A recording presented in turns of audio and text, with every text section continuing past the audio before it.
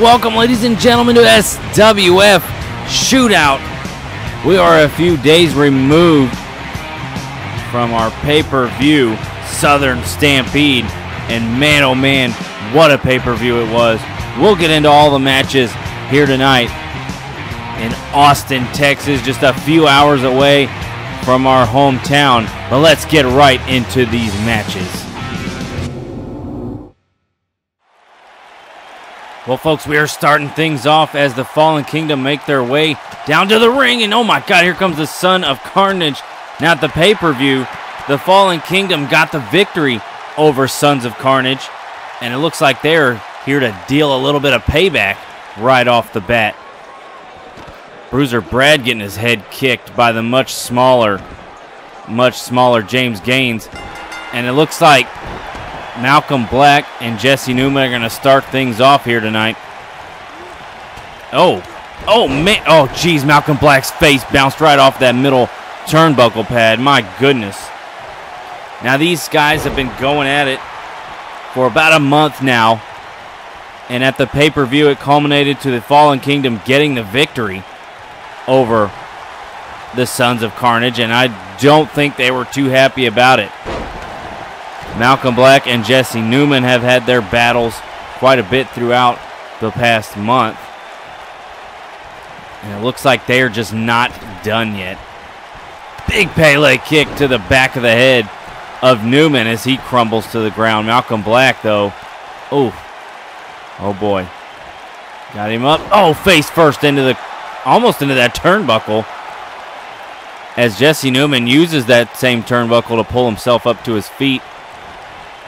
Oh, nice re inverse Olympic slam from Black, but a reversal from Newman. Jawbreaker right there. Into the corner goes Black and a reversal. Oh, reversal from everybody here. Throughout this rivalry, the Fallen Kingdom and Malcolm Black have had the upper hand. Um, and and a win doesn't necessarily. Oh man, a a win doesn't necessarily mean you have the upper hand. Going into the pay per view, they were two and two, more or less. Jesse Newman and Malcolm Black went back and forth quite a bit, but the Fallen Kingdom have won every tag match. Oh, oh, big kick and a knee, and right into a Northern Lights. Very cool move and a pin. One, no. My goodness. So, as far as tag matches go, face first goes Malcolm Black. The Fallen Kingdom are up on the Sons of Carnage, Carnage, excuse me, 2 and 0. 2 and 0. Now, as a whole, the Fallen Kingdom are undefeated. As a whole, the Sons of Carnage are winless. But then you've got Thriller and the Clutch that are 2 0. Um, the Birth, who are your current Gunslinger champions, they went into Southern Stampede and defeated Leo and the Sleaze after Leo and the Sleaze won those titles at the gold, uh, excuse me, at the uh, Deuces Wild Tag Team Pay Per View special event. So they weren't. Uh, oh man, neck breaker by Newman. Leo and the Sleaze have a long way to go to be cohesive as a team. As we see Black and oh and oh big double shoulder block. Look at this. Oh man, I'm splitting him in half. Wishbone and Malcolm Black here. Leo and the Sleaze have got a way to go as we see the DDT from Newman and the pin. One, two. Brad's not coming in. Malcolm kicks out. The Birth, though, coming in, winning their matchup. Oh, Newman went for the cutter and Black reversed it. Winning their matchup, winning those tag team championships. And they are, they are now your gunslinger champions. Knee to the, geez, knee right to the face but doesn't go for the pin, and Malcolm Black with the European uppercut. Black's got to get out of this match. Dropping Gaines right on the back of his head. A lot of interesting matchups at Southern Stampede pay per view. If you haven't seen it, I suggest you go back, check it out. We also had the eight man ladder match for the open roster spot. Let me tell you something, that was wild. That was a pretty wild matchup. And, oh, we got the Rings of Saturn here locked in on Gaines. We've seen a few people tap out to this. Is Gaines, the ref's right there? No, Gaines fights out of it. That matchup, that eight man ladder match for the contract was crazy. In the end, Robert Hall is your new roster member after he got to the top of the ladder and nobody stopped him. He got the he got the uh, contract and and now is part of the SWF roster. And look at Bruiser Brad taking it to James Gaines here. Oh my God, that might have been just a regular gut kick. Look at the size difference. Jeez, jerking the big man down. He's very top heavy with that massive dome. Bruiser Brad's head is bigger than the torso of Gaines. This is ridiculous. This shouldn't even be allowed. You shouldn't even be a real person this big. Bruiser Brad's got Gaines up in a sidewalk slam. Center of the ring. Uh-oh. Is Brad going to get there? No. Gaines gets Newman. And in comes Jesse Newman. And Bruiser Brad shuts it down. Single leg Boston Crab. And he is cranking away at the back. Really pulling on that leg. And he kicks Bruiser Brad away. And nice reversal from Brad. A little arm drag. You know, a little technical wrestling from the big man. And that's just pure powerhouse right there. That is pure powerhouse right there. Into the corner now, but uh, but Gaines isn't there, but it doesn't seem to make a difference. Flipping over and face first goes Bruiser Brad. Oh, Jesse Newman doesn't go for the pin, and this is why. DDT to the big man. Can he hold on with the pin, and he kicks out. Malcolm Black did come in, though, but it wasn't necessary. Big cutter. That could be it right there. These guys could finally get their victory over the Fallen Kingdom in a two count. Man, just James, excuse me, Jesse Newman wondering what he's got to do here. Probably not that. Big knee to the face of Gaines. And now look at Bruiser Brad. He's going to lock it in. Really cranking away. Might be fish hooking him a little bit. But could this put the. Nope. Gain, er, Jesse Newman gets out of it. Brad trying to crawl over to Malcolm Black, not able to get there in time, and a clothesline there, followed by an elbow. Brad sends Newman into the corner, and he dodges it. Big kick right to the face. Back into the ring now, and again that DDT. Quickly going for the pin. Wise move there from Newman. Two.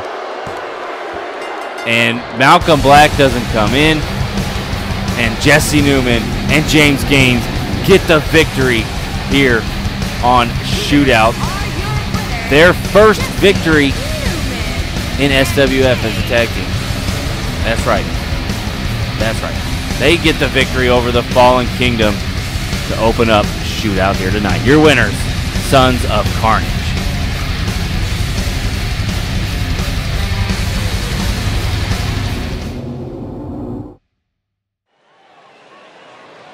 Here we go. Second matchup of the night. And it involves one of, if not the darkest member of our roster. And that is Lord Draven. He is coming in at one and two. The last time we saw Lord Draven was a few episodes back. He took on Vice, in which he did lose that matchup. Oh gosh. Look at this massive thing he's wearing on his head.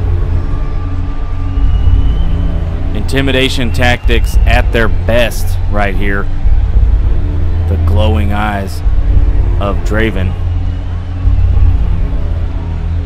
Now he came in, he was part of uh, the tag team with, I believe it was Zach Graves or Kid Hades. I'm, I'm, I'm not totally sure. I can get that information for you, but uh, did not make it past the first round. I do know that, and um, and never, you know, Draven has had a checkered past here in SWF, and I'm not quite sure how that's that's totally happened. Draven's a scary dude. He can fight. He's got the dark ministry behind him.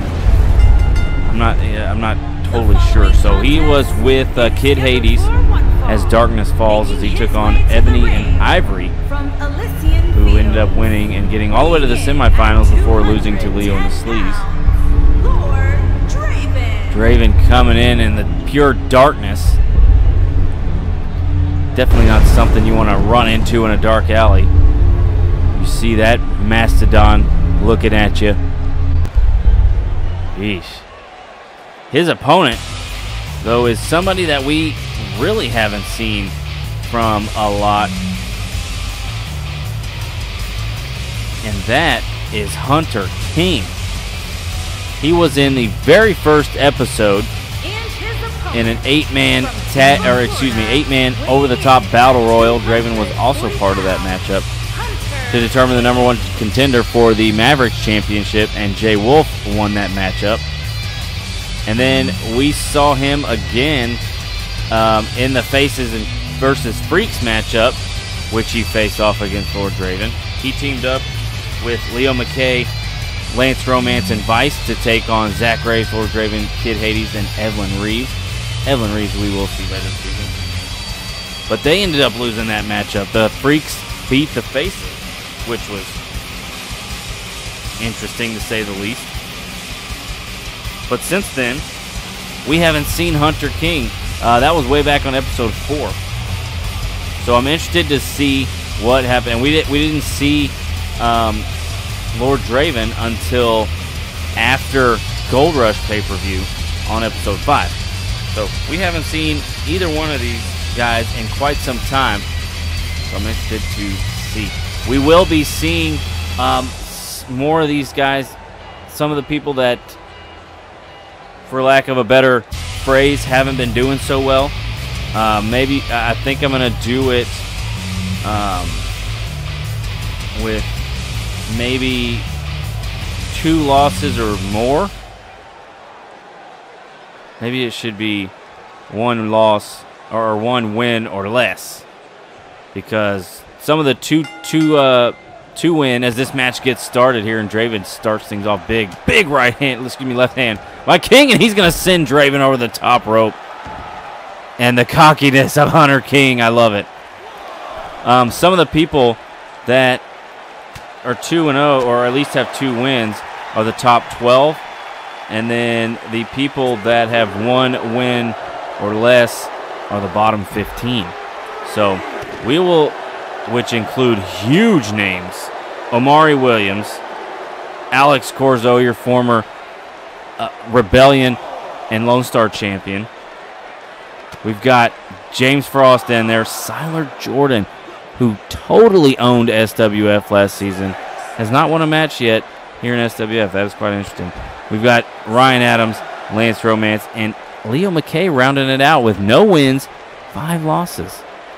Five losses as an individual, which is surprising. But those guys are all, we're going to see them on our other show called Revolver. That is going to be a matches only show. We will not uh, have any commentary over those matches. We're going to get right into the action with that. Bounces off the ropes and a big knee. Good lord, that bicycle knee puts Draven down. And now look at Hunter King. Oh man, what a power bomb that was. And a pin and just a one count. Hunter King kind of in control of this matchup, and I hope I don't give him the commentator's curse, as so it seems to normally happen here. Big kick to the midsection. He's got Draven up, walking towards the turnbuckle. Big buckle bomb. Back first goes Draven. And now King's going to pull him to the center of the ring. Oh, stomping on the elbow. Hunter King, um, also last season, not having the greatest go of things, and a big knee drop to the face. Oh, bouncing off of that bottom rope. That probably didn't feel great. Kicking Draven away, though. And Hunter King, he's fired up. Over the top goes Draven again. Over the top goes Draven again. So Hunter King is actually 0-2 as Draven kicks, uh, catches that. Lord Draven is 1-2. This includes eight man matches, tag team matches, all that stuff. So Hunter King has got something to prove here. Ref, you might want to step aside, and he does just in time as King drives that knee right into the face of Lord Draven. DDT from Hunter King, quickly going for the pin. One, two, no. Draven kicks out at two, and King cannot believe it. He has been in full control this whole matchup. Kick to the midsection now, and look at this. Got him up. Double underhooks. Holy Toledo, what a move that was. One, two. Wow. Draven kicks out. It's like a double underhook, spinning neckbreaker type move, and frustration from King right there as the double stomps. But Draven not quite ready to give up just yet. Drives him head first into the mat and the pin. Ref counting two count from Draven. King's able to kick out. And now look at this. Hooking him up in this submission move, completely stretching him out. Is King going to tap or is he going to stick it out? He, wow, quickly, quickly fights out of it and elbows right to the bridge of the nose of Draven. Hunter King goes for the kick to the midsection. Has him up. Huge power bomb, lung blower, and the pin. One, two. No. A kick out at two. Excuse me while I take a drink. Big elbow by Draven. And a massive clothesline knocking both men down. Uh-oh. Draven's going up to the top rope. Turning around. Going for a huge moonsault. And Hunter King steps out of the way. Or slides out of the way, I should say. Double underhooks. DDT. And Draven going for the pin. Two. No. King shoves Draven off of him. And a jawbreaker right there. Big right hand. Oh, man. Sister Abigail's busted Draven open. Excuse me. My voice seems to be going here. Pump handle facebuster. And King quickly with the pin. One, two. Oh my goodness. Draven is not ready to give up. King is throwing everything he's got at him. Face or a, a jawbreaker there. Drops him on his head. My goodness. Draven getting down for the pin. Two, no. Just a two count. And what do these guys got to do to each other to get the win? King probably wants this win so much as he has not won yet here in SWF. I had high hopes for Mr. King this season.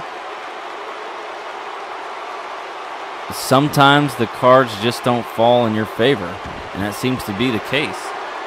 And here comes Draven. He is getting King up to his feet in the center of the ring. Second DDT. Double arm DDT. Shades of Cactus Jack there. Three count, and Lord Draven gets the victory over Hunter King. My goodness. Quite unexpected as, as we saw how that match was playing out. Draven busted open and bloody. Hunter King kind of had control of that matchup. And look at Draven. You animal! The match is over. Somebody get in there and stop this madness right now.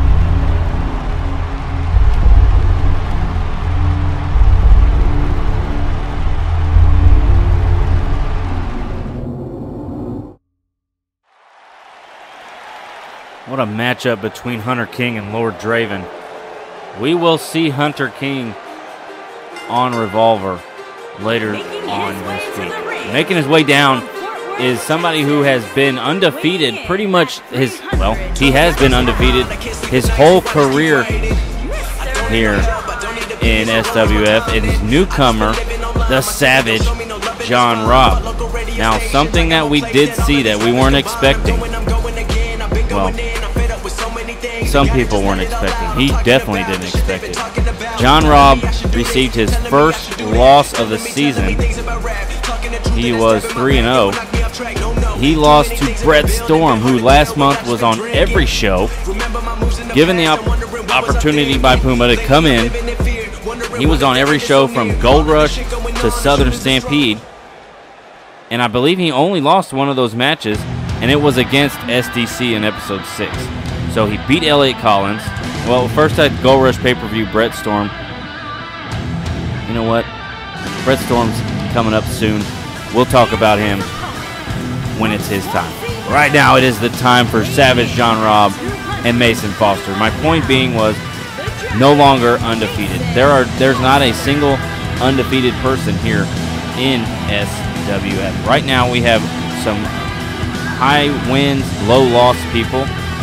Jay Wolfe, your Maverick champion, six and one. SDC, your Lone Star champion, five and one. Kid Hades, three and one. John Robb, three and one. Zach Graves, two and one. A lot of people are at the very top. Now, we have 30 people in this. Uh, in this. What am I trying to say? In this federation. Good lord. And right now, do we have 30 people? I might have to go back and count. So, of the top half, there's quite a few people with only one loss. Mason Foster has three losses, but he has two wins. So, do you, do you say, well, you're one, you're one match under 500? Or, you know, are you on some kind of a streak? Now, Mason Foster had a matchup against Ryan Riley in the very first episode, which he lost big knee to the face. Then he faced off um, in that eight-man tag or eight-man battle royal, which Bruiser Brad won. Which I mean, can't blame him there. He got a victory over Lance Romance the night after Gold Rush. He did lose to Brett Storm during that whole thing. He beat Duke Zenda after Duke was he counted himself out. It was uh, the night before Southern Stampede. Duke didn't want to fight. He went out there, got himself counted out, um, and that was that. And now here we are tonight. So it's Mason Foster this season. Look at John Robb with that big slam. Now, John Robb started out with not being in a federation, not being in our federation anyway.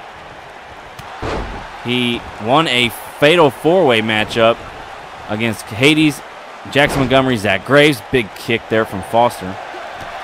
He then went on to beat Elliot Collins. He then went, went on to beat Omari Williams. Knee breaker from Foster into an Enzuigiri. Nice move there. And then he ended up facing, uh, well, he was going to face Duke Zenda, but SDC came out and attacked him, attacked Duke Zenda. We never got to see that Lone Star champion versus Savage John Robb matchup. Then Brett Storm defeated him, giving him his first loss here in SWF. And that's where we are now. So I'm interested to see what does that mean? Does that mean John Robb wants redemption? John Robb wants to get back on track? Is Mason Foster even going to let him? Is even, I mean, Mason Foster put a lot of stock into Duke Zenda not wanting to fight him. And Duke getting counted out. So Foster thought, that must mean I'm doing something right. Look at John Robb here. Got him up. And a big last ride power bomb. Goes for the pin here. This could be a quick one. Two, no, and a kick out. A kick out by Mason Foster. So now, I don't know. I'm thinking John Robb has got a lot of built up animosity, possibly towards Brett Storm, possibly just due to the fact that he lost a matchup here. I mean, 3 0 is nothing to, to sneeze at. 3 and 1 isn't either. And I don't know how that makes John Robb feel. Mason Foster, on the other hand, not uh, 100% part of uh, the Fallen Kingdom, but still part of the Fallen Kingdom. They're doing their thing. Foster wanted to run out, see what he could do singles wise, and he takes the legs out of uh, from under John Robb. And let's see. Uh oh. Foster now going at all the limbs of the Texan here from Fort Worth. And he's going to pick him right up. Oh, big uppercut from John Robb. Uh oh. Are we going to see it again? Center of the ring this time. No. Dear Lord. Yes, we are. Huge power bomb. He got a kind of threw us for a loop there. It looked like he might have been going to power bomb him outside the ring. Goes for the pin now. Oh, at the very last second. At the very last second, Mason Foster kicks out. Uh oh. Picking Foster up by his friggin' neck and throwing him like a sack of potatoes. And now John Robb just taking everything out. Uh oh. Look at this submission hold. Right by the ropes. He's got to let it go. And a nice reversal there from Foster. And another knee breaker very close to the ropes. Big side slam. Oh, and John Robb slides out of the ring. Probably a smart move there. But he gets caught. Uh-oh. A lot happening right there. Looked like Robb was going to get the reversal. Is Foster... Oh, no. It looked like Foster might have been trying to steal his move. But unable to get a hold of it. Look at this. Sit out knee breaker. And John Robb is on a tear right now. Fireman's carry into a power bomb. Dear Lord. Pinning him in the corner. And a two count. And a two count. Look at him. He is cranked up. Big shot. And now, oh man, back body drop into a side slam and goes for the pin. One, two, that's it. That is it. John Robb gets himself back in the green, if you will. I mean, I guess he never really left, but John Robb gets the victory. He's got to be up there, I would think. It's some sort of title shot at some point, I would think so. Your winner, ladies and gentlemen, the Savage, John Robb. Well, folks, we'll definitely be seeing Hunter King on Revolver. Right now is something extremely special, I think, based on what's been going on lately here in SWF. Clearly, we are inviting to the ring your new SWF Lone Star Champion, everybody. Look at the title around the waist of SDC, the hero of wrestling. He holds that championship after defeating Duke Zenda at Southern Stampede. He's kind of a a surprising entrance, if you want to call that. I mean, he attacked Duke Zenda uh, earlier in the month, and then these two just really started going at it before SDC. He pretty much had the upper hand throughout the month, and it culminated at Southern Stampede, where SDC got the victory and holds the SWF Lone Star Championship. But his opponent here tonight is no slouch as of the last month, and we just talked about him a little bit ago. His opponent here tonight in this non title matchup is Brett Storm, who could just as uh, fairly and just as equally be challenging for this championship. Duke Zenda, of course, getting his opportunity to get it back, but Brett Storm has been just on a complete tear as of late. And he's got a viable gripe and deserves to be at, talked about in that upper echelon here at SWF this season. Um, and needs to somehow put himself in position to get this championship. And this might be the way to do it. Does he get a victory over the Lone Star champion? And who knows what that means for him. If it even gets that far. We know Duke Zenda's in the building. And if Duke Zenda has some uh, beef with SDC, who knows what's going to happen. But Brett Storm, if I'm not mistaken, has had more matches than anybody else in SWF. He has had a total of eight matches in nine episodes and two pay per views. So, eight matches and 11 shows, where the next best is Duke with seven matches.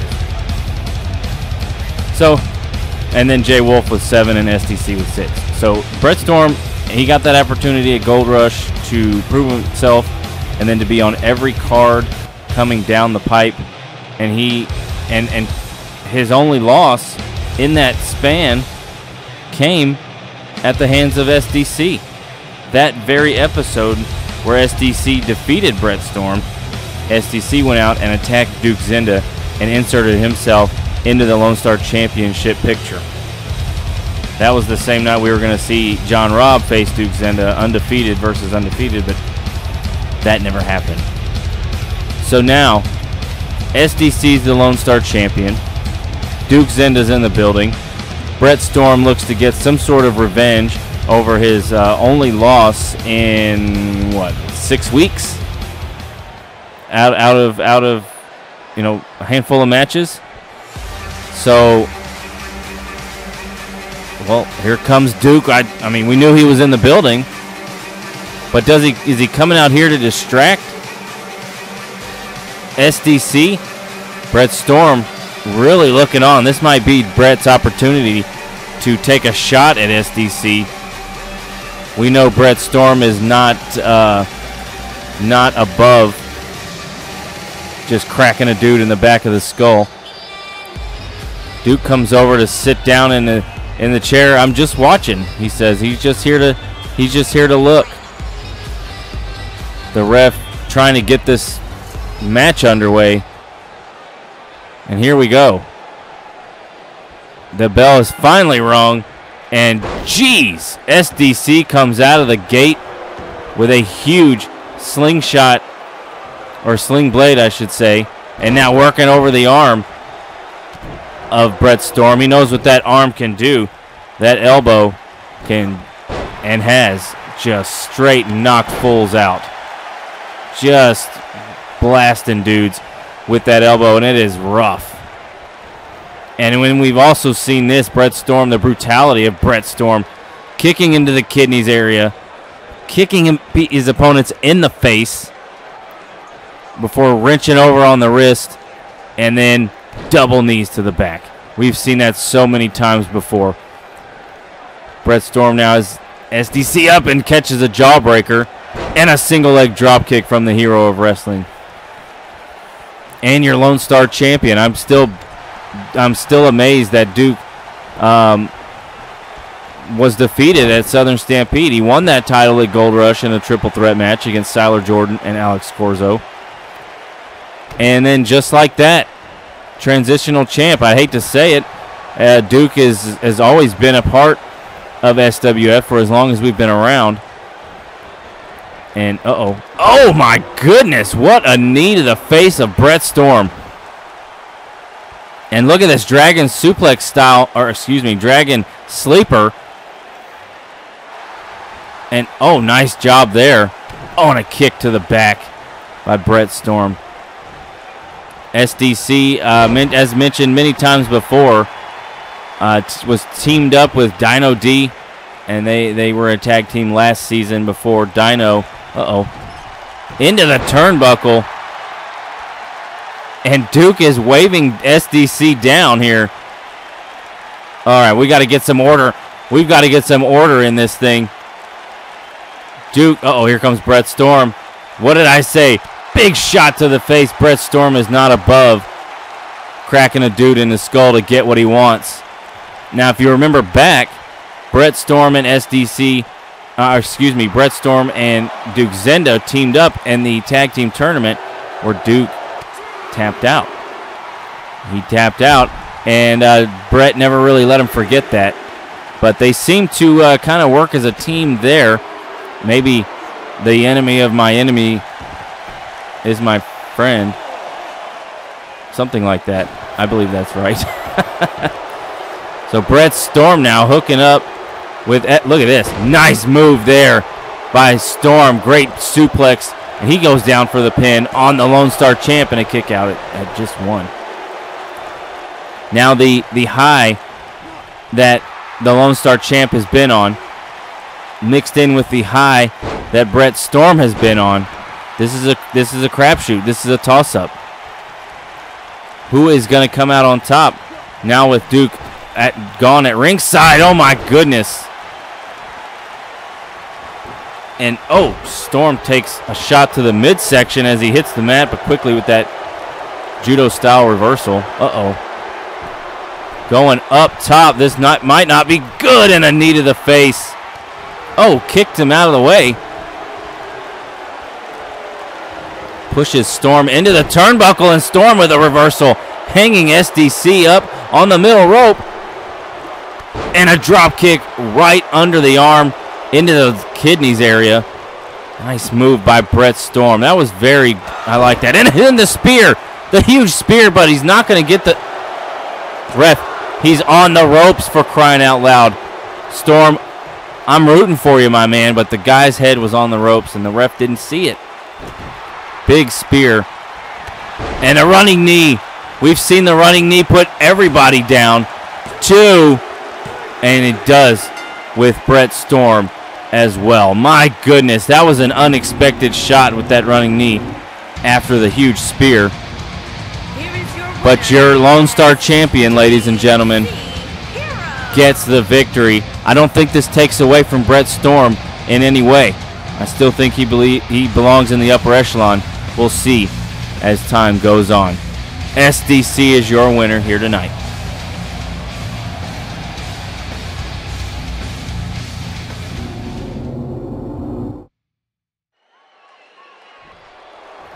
Evelyn Reeves in the ring. And look, here comes Kid Hades attacking Jay Wolfe.